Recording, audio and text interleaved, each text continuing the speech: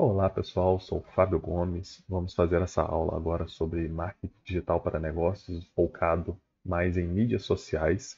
Então, o objetivo aqui mesmo é a gente aprofundar um pouco mais sobre como introduzir nesse assunto. Né? E eu sou uma pessoa que trabalhou bastante com consultorias, é, trabalhei com mais de 200 projetos é, voltados para a área de marketing. Sou formado de, em Business Marketing pela Ohio University. Fiz também a graduação é, na PUC Minas em gestão de pessoas e também especialização em desenvolvimento de aplicações web.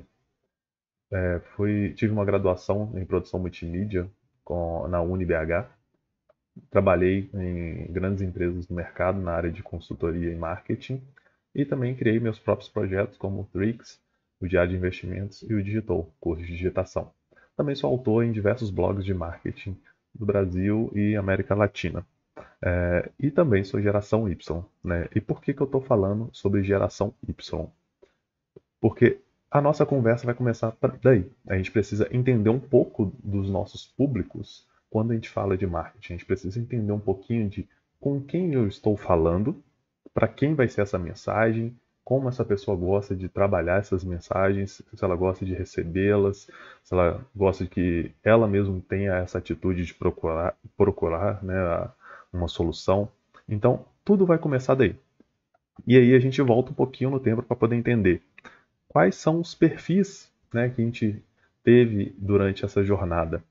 Então, a gente pode falar aí sobre as gerações dos baby boomers, geração Y, geração X, geração Z, que foram aí as mais marcantes né, das gerações que nós tivemos. Elas foram marcadas por alguns tipos de comunicação, que é o que a gente vai ver um pouquinho agora. Então, antes da gente começar a trabalhar com o marketing, a gente precisa entender né, sobre pessoas, porque o marketing é voltado para pessoas e comportamentos. E aqui a gente consegue ver um pouco da, dessa tradição de como eram as comunicações. Então a gente teve aí, por exemplo, a introdução dos baby boomers, que tinham muito trabalho por cartas, né? escreveu ali uma letter, enviar ali uma correspondência. A geração X foi mais marcada aí por, pelos telefones, né? onde era mais comum fazer ligações. Geração Y aí mais marcada né, pelos e-mails. E hoje a gente já vê bem comum né, as, as comunicações através de mensagens, mensagens instantâneas, mensagens mais rápidas, né? Então, esse tipo de comportamento ele vem mudado, tem mudado com o tempo, e a gente entender o que, que cada geração tem percebido como valor e como ela tem interagido é, no mundo vai fazer com que a gente tenha um melhor resultado dentro das nossas ações, dos nossos objetivos de marketing também. E é aí que a gente entra num detalhe muito importante, que é né, quem são os nossos clientes, quem são as pessoas com quem a gente quer conversar, né, quem a gente quer atingir, de onde elas vieram, quais, quais são os backgrounds que elas tiveram de educação, então, hoje uma criança ela já nasce com um tablet, um celular, um smartphone na mão e ela já consegue até passar o dedinho na televisão, buscando ali um, um como se fala, né, a, a tecnologia touch, né, de movimentar as coisas. Hoje, se você der um teclado, né, com, com vários botões ali, né, igual aqueles celula celulares mais antigos, né, elas talvez não consigam utilizar tão facilmente. Então, por quê? Porque tudo mudou, né? Então a tecnologia muda, a forma de comunicação muda e a vivência dela no dia a dia também. É, hoje a gente já está trabalhando aí principalmente com a geração Y e Z no mercado de trabalho. É uma geração que já nasceu aí com um pouco de tecnologia, já nasceu ali com a internet em movimento, é, movimentação, né? Então esse tipo de pessoa, né, que que já nasceu né, né, nesse momento, ela já está mais acostumada a navegar na internet, a navegar com os meios de tecnologia. E isso tudo vai fazer diferença quando você fala é, com ela. Então, a linguagem, os meios de comunicação, como você pode conversar com essa pessoa. E aí que entra né, esse detalhe de mundo é, integrado, mundo tecnológico, onde praticamente as maiores marcas hoje em dia são digitais é, e tem um, um, meio mais tátil né, para esse público. Isso é muito importante a gente entender. Né? E, e, quando a gente fala de entender o público, a gente já está falando de é, de um filtro, mas não um filtro de não quero essa pessoa, mas um filtro de com essa pessoa eu converso dessa maneira. E aí, o que, que eu quero falar agora?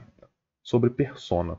Quem é persona? Né? É, um, é, um, é um termo de marketing que é um pouco parecido com o que a gente chama de público-alvo, que é com quem eu quero falar, mas é, um, é um, uma pessoa mais específica, é aquele cliente ideal, é aquela, aquela pessoa ideal com quem eu gostaria de falar. Eu gostaria que todos os meus clientes fossem iguais a esta pessoa, por exemplo. Isso vai te trazer o que a gente chama de persona no marketing. E aí, como que a gente diferencia na prática um público de uma persona? No caso, quando a gente está falando de público-alvo, a gente tende a ser mais generalista. Ou seja, eu vou falar ali de pessoas que têm idade 30 a 45 anos, atuam no marketing, trabalham em grandes empresas, é, gastam X tempo na internet, têm uma renda entre X a Y. É, é uma coisa mais ampla, né? não, não, você não consegue traçar exatamente uma pessoa, você traça um grupo. E tudo que a gente fala de grupo, a gente pode ou não atingir ali aquela pessoa que a gente quer. Agora, quando a gente fala de persona, é exatamente com quem eu quero falar. Eu vou buscar ali, então, uma pessoa que seja é, graduada ali em marketing, que ele tem um salário específico, né? no caso, como a gente está vendo aqui na imagem, é, é o Diego, que tem 33 anos, gerente de marketing, ele tem uma família, tem um filho, é, ele vai a shows de jazz, blues, está conectado nas redes sociais X, Y, Z. Ele tem uma dificuldade no trabalho sobre Y, ele quer ter uma meta de vendas relacionada a X. Então, eu já começo a entender mais sobre aquele perfil para poder saber como eu posso interagir com ele, como eu posso criar novas métricas ou é, novas formas de comunicação para que consiga engajar ele naquela audiência. Então, esse tipo de definição já ajuda. E toda estratégia de marketing hoje, ela precisa ter né, a sua persona. Ah, eu só tenho o público-alvo. Ok, já é um começo. Né? Também podemos usar o público-alvo. Né? Um não elimina o outro, mas para cada tipo de estratégia é essencial você ter esses perfis. E é possível que você tenha mais de uma persona, né? você possa comunicar com mais de uma pessoa. Então, no caso de um ambiente corporativo, às vezes eu tenho um produto, um sistema que eu quero vender para o time de para uma empresa de segmento de telefonia. E aí eu vou ter uma persona que é o, o gerente de tecnologia, que eu vou ter uma conversa, uma comunicação, uns tipos de desafios que eu tenho que atender com ele. Eu vou ter a conversa ali com o gerente financeiro, que aí eu vou ter um outro tipo de conversa, um outro tipo de objetivo voltado mais para aquilo. Então eu vou ter diferentes perfis a ideia é que a gente tenha é, a, o conhecimento e bem mapeado quem são as pessoas envolvidas no processo e documentar isso de forma que eu possa reutilizar novamente em outras estratégias. Né? Esse é um dos pontos que a gente precisa trabalhar em cima disso. E aí, como que eu posso trazer isso de uma forma prática para que qualquer um consiga iniciar um processo de definição de persona? Se você não tiver uma pessoa especializada em dados para buscar isso da sua base de clientes, o primeiro passo, né, para começar ali, né, do inicinho, é definir esses detalhes. Ah, beleza, da minha base ali, qual, qual é a, a região em que meus melhores clientes estão?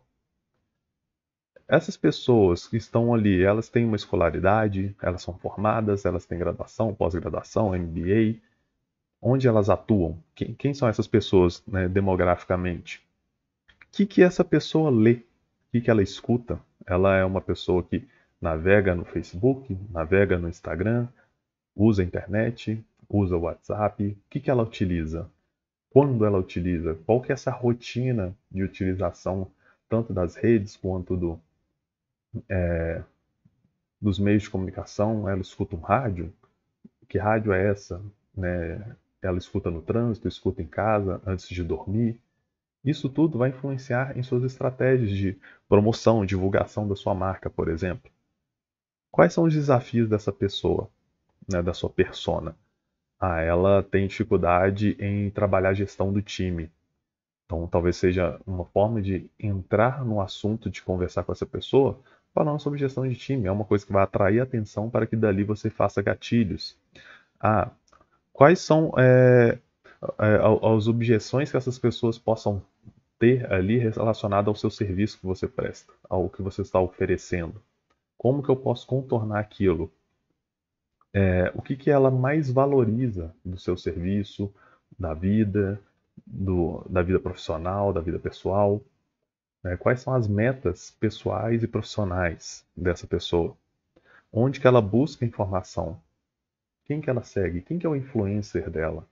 Né? O que, que ela acompanha? O que, que ela vê no YouTube? O que, que ela vê na TV? O que, que ela lê numa revista? Né? E, e, e qual que é a experiência de compra que ela deseja? Tanto onde ela frequenta, como ela faz a sua jornada, se ela compra online, se ela compra por telefone, se ela pede pelo WhatsApp, é, e, e, como que você, né, com sua solução, pode ajudar essa pessoa. Isso é bem descrito, isso é bem documentado, você tem isso em um lugar de forma sólida. Né? Isso é o primeiro passo aí que eu acredito que a gente vai conseguir avançar dentro de uma estratégia. Se você não tiver isso, provavelmente você pode estar tirando para um lugar que não vai resolver o problema ou que você vai ter um baixo resultado, porque talvez você esteja trabalhando no achismo, talvez você é, esteja trabalhando em uma vertente que talvez não vá solucionar de uma maneira tão produtiva. Então, esse é um é ponto aí. E aí a gente entra nesse detalhe, né? É, quando a gente fala de internet, né, se você não está no Google, né, você não existe, você não está online, né, as pessoas não vão te encontrar.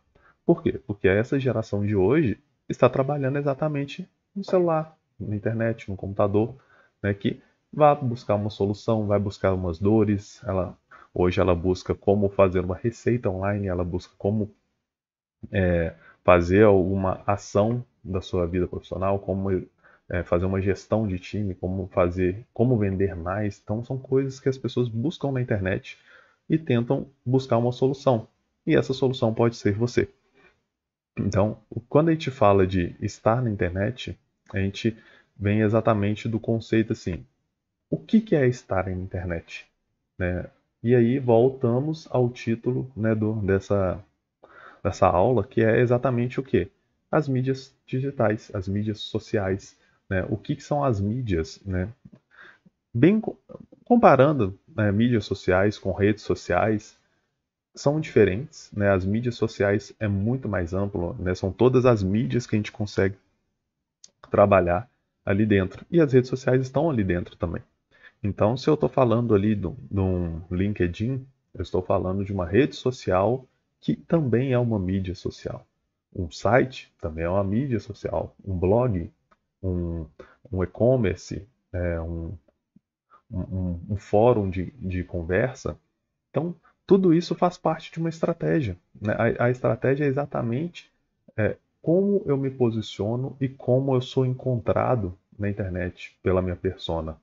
E aí eu sempre vou ligar né, a persona com o comportamento. Então, a, essa persona, ela busca as redes sociais, ela busca outros tipos de mídia.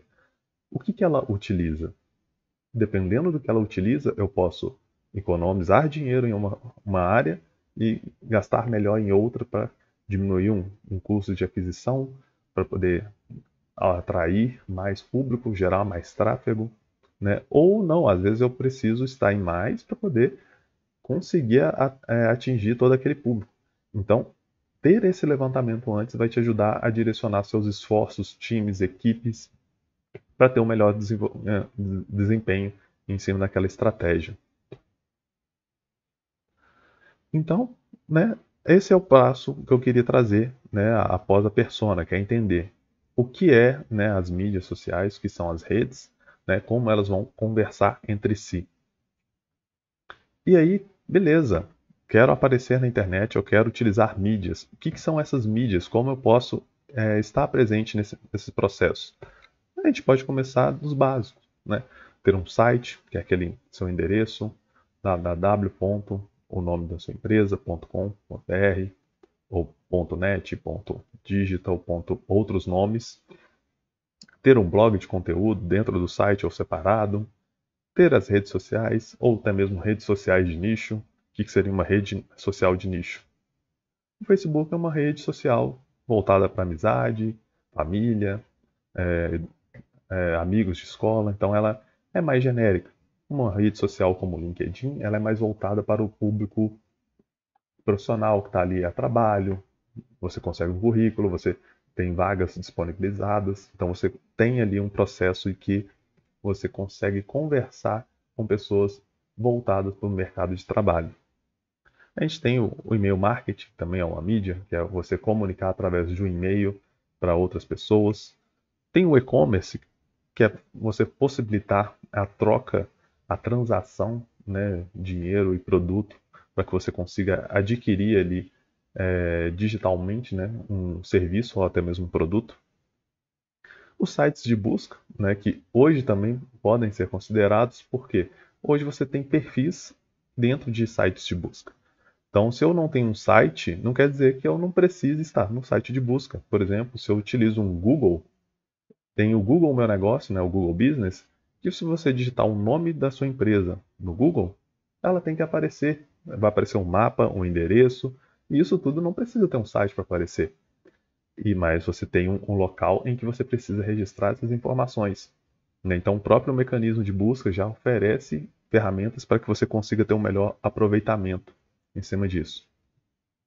E os próprios canais de mensagens instantâneas, seja um Telegram, um WhatsApp é, ou outros né, que você possa estar utilizando para poder conversar e facilitar a comunicação com a sua clientela.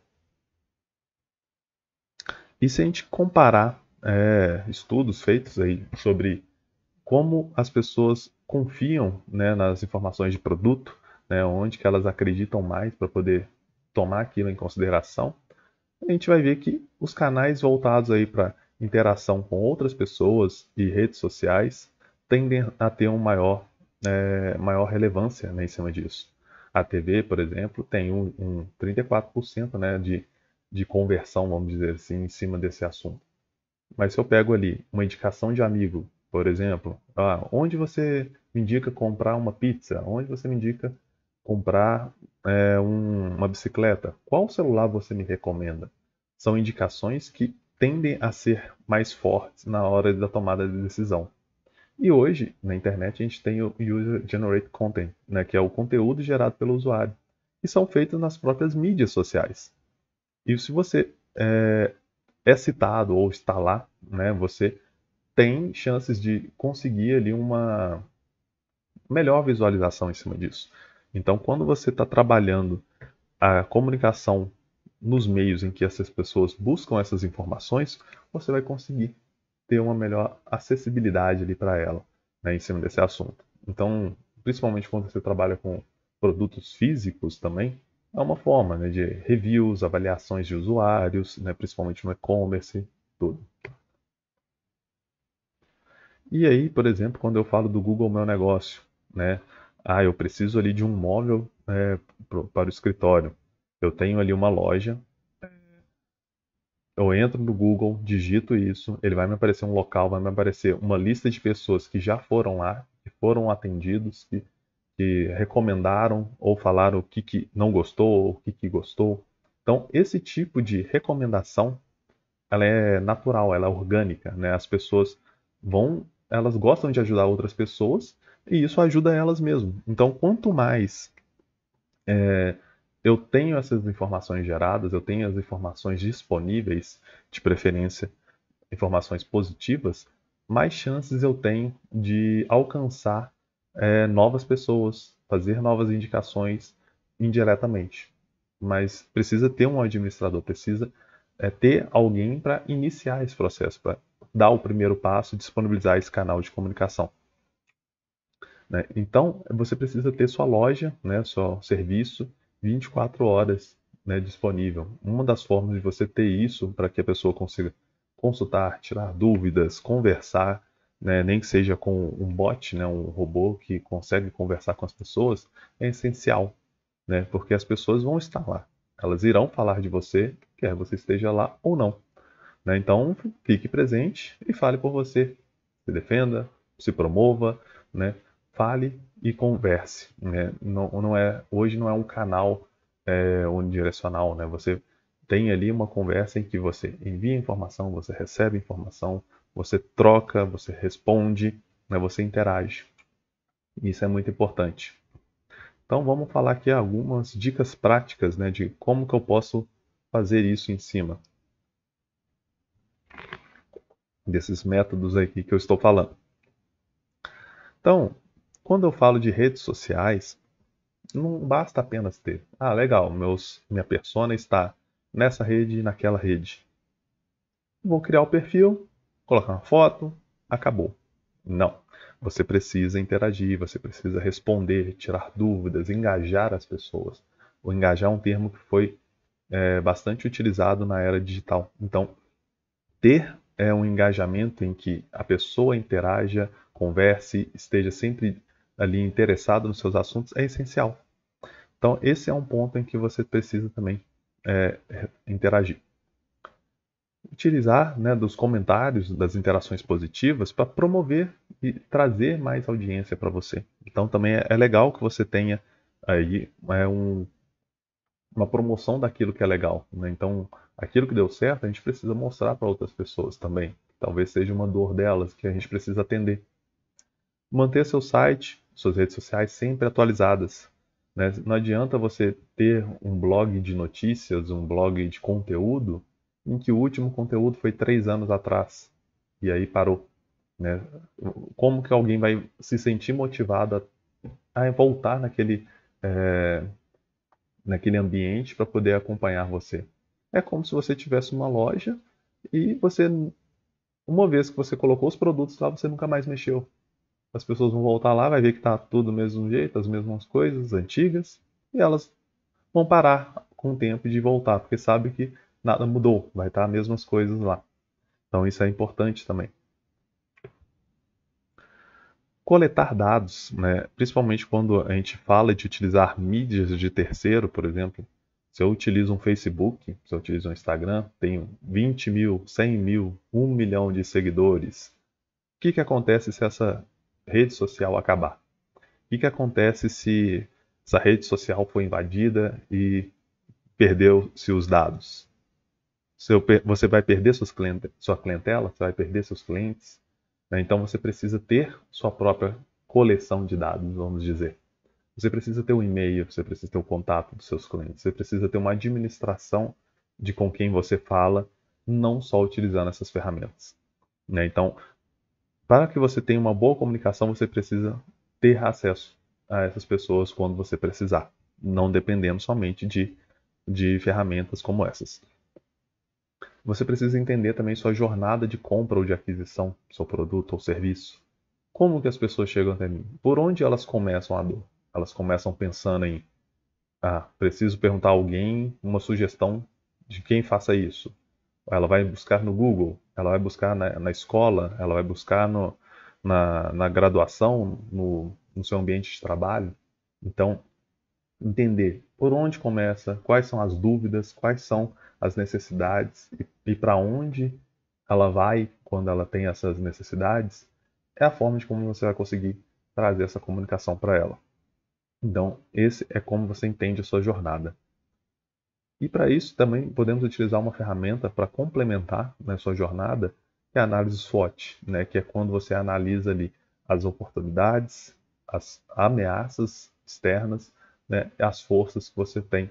Então é, é baseado em strong, weakness, opportunity e threats, né, que são as é, forças, fraquezas, oportunidades é, e ameaças. Então tem coisas que são internas, forças suas internas ou fraquezas internas.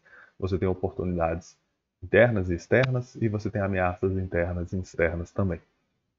E isso tudo é para que você consiga traçar onde você pode melhorar onde você pode é, continuar agindo né, e o que, que você tem que parar de fazer, por exemplo. Então, isso são ferramentas de marketing, mas que não é só para marketing, é para o negócio, é para sua estratégia como um todo. Então, é importante você tenha isso mapeado também. É, E quando a gente fala de mídias, a gente não pode confundir as mídias como uma só. Né? A gente precisa entender que cada uma delas tem o seu meio de funcionamento. Né? Então, para cada uma delas, eu vou ter minhas métricas, vou ter minhas, meus objetivos, minhas ações, meu, meus pontos diários ali. E aí eu preciso ter esses objetivos bem claros, né? seja para um Facebook, seja para um Instagram, seja para um site, seja para um blog, para um e-commerce, para uma página de serviço, uma landing page de aquisição de interessados, né, que a gente chama de prospects ou leads. Então, eu preciso entender também o estágio em que essa estratégia vai trabalhar. Então, eu estou fazendo uma estratégia que é para atração e visibilidade, branding da minha marca.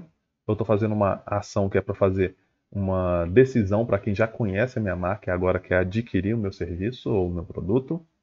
Ou eu já estou fazendo alguma coisa que é fundo de funil, né, que é aquela conversão, compre agora, é, acesse agora, é, fale com o consultor.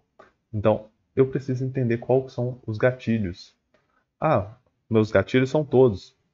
Você pode ter todas as estratégias, mas provavelmente não vai ser na mesma campanha, não vai ser no mesmo processo ou na mesma página.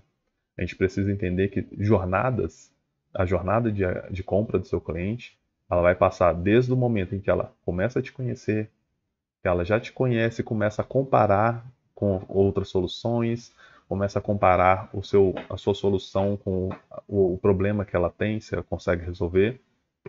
E aí sim, com a conversão, se eu consigo pagar, se o contrato está legal, se, se o serviço realmente vai funcionar para o que eu estou precisando. Então, para todos, para cada esse momento, a gente tem uma estratégia, a gente tem um processo né, para fazer aquela conversão. E aí eu vou trazer agora alguns exemplos de métricas que a gente pode utilizar né, numa estratégia de marketing digital como um todo. Né? O primeiro deles é o views, né? que são exatamente as visualizações, né? se a gente traduzir ali. Então, quando eu falo de visualizações, é quantas pessoas realmente viram aquele conteúdo, viram aquela imagem, aquele banner, aquela propaganda né, disponível ali. Quando que isso é legal? Quando você está fazendo, por exemplo, uma campanha de branding, de atração. Pessoas que estão visualizando aquilo. Uma campanha em que eu quero adquirir views não necessariamente vai trazer conversão. Pode também ter conversão, mas não é o foco dela. O foco dela é voltado para branding. Então é por isso que eu falo que a gente vai ter diferentes campanhas para diferentes resultados. Agora, se eu falar, eu quero um custo por clique, ou CPC, eu quero pagar um real por cada pessoa que acessar minha loja, uma pessoa que acessar minha página. Né? Então, talvez o custo por clique seja algo que a gente esteja olhando em consideração, ou seja, aquilo que a pessoa já conheceu, ela já entendeu ali mais ou menos, ela entrou para poder visualizar aquele conteúdo, está considerando se faz sentido ou se não faz. Então, esse tipo de, de métrica vai ser utilizado quando você estiver falando aí com um usuário que você pagou, por exemplo, para que ele acessasse o seu site, a sua página, né, para entender mais sobre aquele assunto. O CPA, ou custo por aquisição, é quando ele executa alguma ação que você gostaria. Por exemplo, preencher um formulário, deixar um telefone, um e-mail, para que você faça contato. Então, a cada aquisição, você vai ter um custo. Esse custo pode ser um real, dez reais, cem reais, mil reais. Depende do seu negócio, do que você vende, do ciclo de venda, é, do ticket médio. Né? Para cada coisa você tem um, um período. Para eu comprar um lápis, meu custo por aquisição vai ser uma coisa. Para eu comprar um carro, vai ter um tempo de pesquisa, vai ter um, uma, uma demonstração, test drive, vai ter uma série de coisas que vai entrar no seu custo. Para poder vendar, vender um CRM, né, uma ferramenta ali de milhares, milhões de reais, você talvez tenha um, um ciclo de venda ali de meses, anos, que vai ter negociações, viagens e tudo mais, que vai ter que entrar naquele custo ali. Para vender, é, ou também no caso que a gente pode falar do CPM, custo por mil visualizações, que é bem comum no mundo de mídia digital, e você aparece e a cada mil visualizações que você teve ali, né, cada impressões na tela, né, que a sua imagem aparece, você paga um valor. Então, essa é uma outra métrica que também pode ser voltada ali para branding. É, o CPL, né, o custo por lead, com a pessoa interessada, não necessariamente a pessoa que converteu, né? ela anda ali em paralelo com é, o CPA, CPL, né? que é voltada exatamente para aquisição do lead, mas você pode definir que a aquisição vai ser a pessoa que realmente adquiriu o seu produto, né, ou não. Então são expressões que são utilizadas, mas é definido internamente como vai ser a utilização delas. a taxa de conversão é exatamente qual o percentual de pessoas que visualizaram ou clicaram e realmente converteram na ação que você desejava. É, quantas pessoas é, em uma campanha em que eu queria ter um número de pessoas que falasse com o consultor, a cada 100 pessoas, 10 pessoas falam com o consultor. Então tem uma taxa de conversão de 10%. É um tipo de métrica que você tem. É, leads por canal. Como assim por canal? Ah, eu posso ter leads que vieram do site, leads que vieram das redes sociais, leads que vieram do, é, do Instagram, do LinkedIn, e cada uma delas vai ter um custo. Né? Cada ferramenta tem um preço, tem um, um valor de investimento. Então, para cada uma vai ter um, um vai ter um melhor benefício. E esse benefício vai depender do serviço, é, do momento, da, da segmentação de publicidade que você possa fazer. Então, cada uma vai ter seus benefícios. Mas todas elas, né, o, o, o bom do marketing digital é que tudo é mensurável. Né, e você consegue medir exatamente tudo que você faz para ver se vale a pena ou não. Né? E um do, dos pontos negativos é que, por tudo ser mensurável, às vezes a gente não sabe o que olhar. E por isso é bom ter um acompanhamento em cima das métricas principais por segmentação, por, por estágio do funil que você esteja trabalhando, por objetivo de campanha. Então, aqui eu trouxe apenas algumas mais utilizadas, mas que servem para diversos negócios que utilizam mídias digitais. E por último ali o ROI, né, que é o Return on Investment, que é o retorno que você tem sobre o investimento que você teve. Para cada campanha, para cada ação, você também vai ter um retorno. Esse retorno ele tende né, e precisa ser positivo para ser sustentável sua campanha de marketing. Né? Então você precisa gastar 1, ganhar 10, ganhar 5, ganhar 1.1, mas você não pode gastar 1 e ganhar 0.9 porque senão você está no prejuízo. E aí que entra né, um, até um exemplo prático, vou trazer aqui agora, é, de métricas. Por exemplo, aqui são métricas do Instagram, né, um perfil né, é, de business Instagram, né, um, um, perfil comercial, e te mostra de, do seu conteúdo, quem visualiza, qual a idade, qual é a cidade de maior visualização, quais são os dias de maior visualização, são homens, são mulheres, é, e o horário em que essas pessoas veem esses conteúdos. Isso vai te ajudar a tomar decisões para montar sua persona, para entender se sua estratégia está indo no lugar certo, para a pessoa certa, que você definiu. Né? Às vezes eu fiz uma campanha que é voltado é, para mulheres, mas eu estou tendo um maior número de acesso de homens. Então algo está errado. Eu não estou conseguindo atingir aquele público da maneira que eu precisava. Então, eu preciso rever como eu estou divulgando, para quem eu estou divulgando, como eu estou comunicando e esse processo para definir se minha estratégia está dando certo ou não. Um outro exemplo, uma campanha que foi feita para divulgar um webinar, né, uma aula online né, para um público. Esse público, eu tive ali 10 reais de investimento, eu trouxe 1.900 views, né, visualizações, e 25 cliques. Isso me gerou ali um custo de 40 centavos por clique e 0,05 né, centavos por visualização. E aí eu te pergunto, tá barato? Tá barato? Funcionou? Teve ROI? Depende, né? Por quê? Qual que era o meu objetivo nessa campanha? esse objetivo foi atendido, meu objetivo era trazer pessoas inscritas para assistir. A pessoa clicou, mas ela se inscreveu. E se ela se inscreveu, ela assistiu? Então, a pergunta ela tem que voltar um pouco antes e entender assim, qual é o meu objetivo e quem eu consegui nesse objetivo. E aí sim, se eu conseguir essa pessoa, eu tive meu resultado ou não. Então, aí que é o questionamento e a reflexão que eu deixo para vocês. Se a estratégia que você está trabalhando estão trabalhando com objetivos e métricas claras para cada objetivo. Né? Se vocês é, conseguirem entender isso, vocês vão conseguir ter uma melhor estratégia do marketing digital da sua campanha, da sua empresa, do seu negócio. Muito obrigado a todos. Estou disponível para conversar, consultorias, tirar dúvidas. Deixo aqui meu contato. Um grande abraço para vocês. Foi muito bom estar presente aqui. E até logo e até mais.